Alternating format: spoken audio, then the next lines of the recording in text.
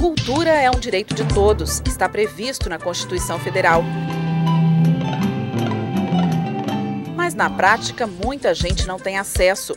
Os preços altos, a distância de teatros, cinemas e até os horários das atrações são reclamações da população, identificadas em uma pesquisa do IPEA em dezembro de 2010.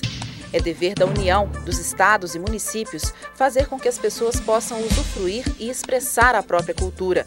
Os três níveis de governo ainda são responsáveis por proteger todos os bens culturais e impedir que eles sejam destruídos. Uma área que busca por autonomia e recursos. De acordo com a Secretaria Estadual de Cultura, o órgão recebeu em 2007 mais de 17 milhões de reais. Outros 74 milhões foram usados no Sistema Estadual de Cultura. As políticas públicas na área estão previstas no Plano Plurianual de Ação Governamental, o PPAG.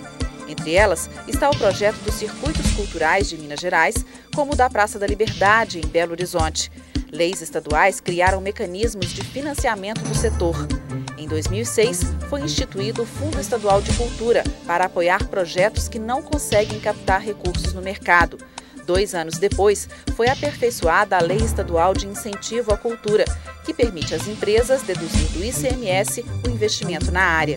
Há ainda a Lei Estadual do ICMS Cultural.